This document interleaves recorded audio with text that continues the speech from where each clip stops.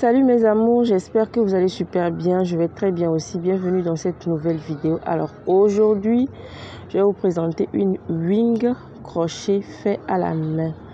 Donc voilà le bonnet que j'utilise souvent. Ce sont mes bonnets ça. Ici, le bonnet euh, est composé de filets uniquement. Alors que ce que j'ai utilisé sur euh, mon mannequin, c'est constitué de filets et le devant on a fait une petite tuile là-bas. Donc c'est la partie où voilà la différence. Voilà donc j'ai fait euh, le crochet à la main. Donc j'ai fait ça hors caméra.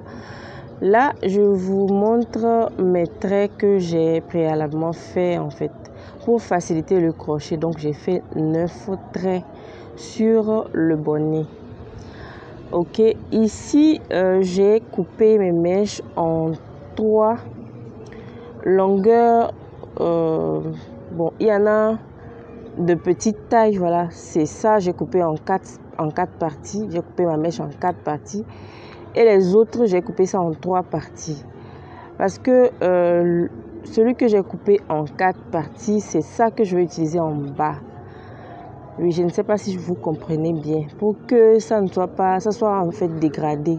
Donc j'ai utilisé le plus petit en bas et au fur et à mesure, je vais utiliser le plus long en haut. Donc voilà, c'est toujours comme d'habitude.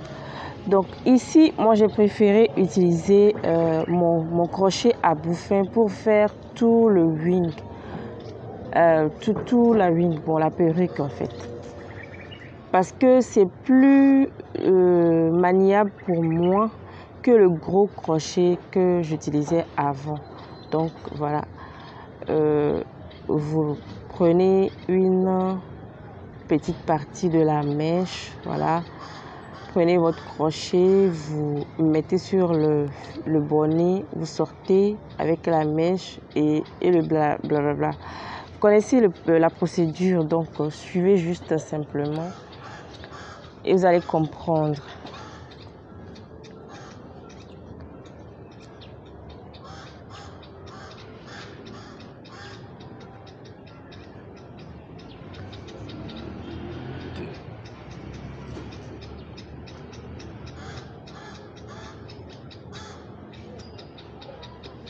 Alors, j'ai euh, fait toute cette partie-là. Ensuite, je vais continuer.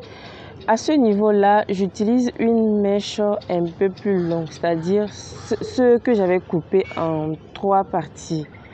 Donc, c'est euh, la mèche coupée en trois parties que j'utilise à ce niveau pour avoir une longueur, euh, comment dire, une même longueur vers la fin lorsque j'aurai fini tout le, le crochet.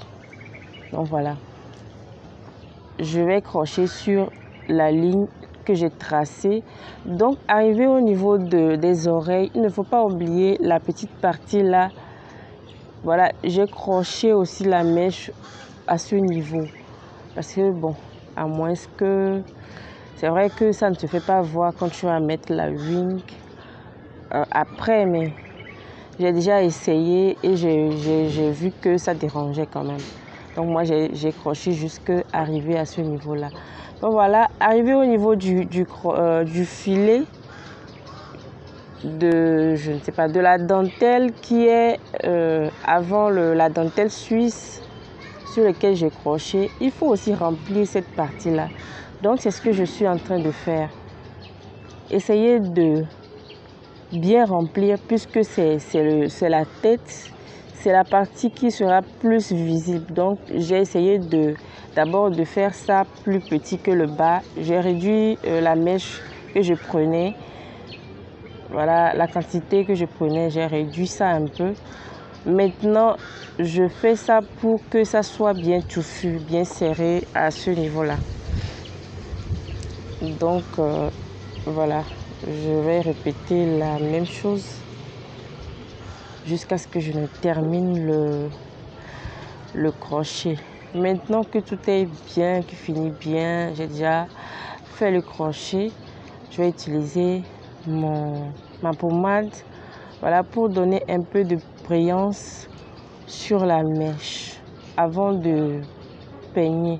Ça va me permettre de bien peigner. Donc maintenant, je, je fais ma raie. Voilà, ma raie, bon, c'est comme vous voulez. Mais vu que c'est une closure très très petite, bon, il suffisait juste de faire une raie. Là, je suis en train de mesurer pour voir combien de longueur. Et je vois que ça a fait longueur 18, je crois. Donc maintenant, je vais mettre la boucle. Je vais utiliser, comme vous savez, après quoi je vais utiliser l'eau chaude et mon conditionneur. Bref, mon balsam. Voilà, je vais plonger ma perruque là-dedans pour que ça lui donne une certaine boucle, quoi. Vous savez. Donc maintenant que j'ai enlevé, je défais les boucles.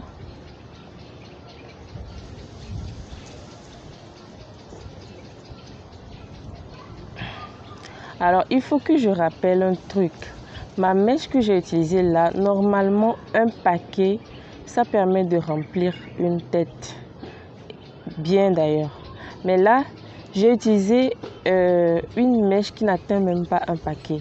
C'est-à-dire, quand je prends une, un paquet de mèches, j'ai utilisé le quart sur ça. J'avais utilisé le quart. Donc, c'est ce qui reste que moi j'ai utilisé pour faire cette perruque.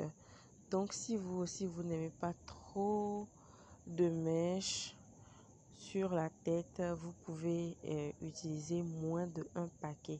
Là, je vais utiliser cette peigne pour euh, peigner un peu disperser les boucles pour que ça soit très fin.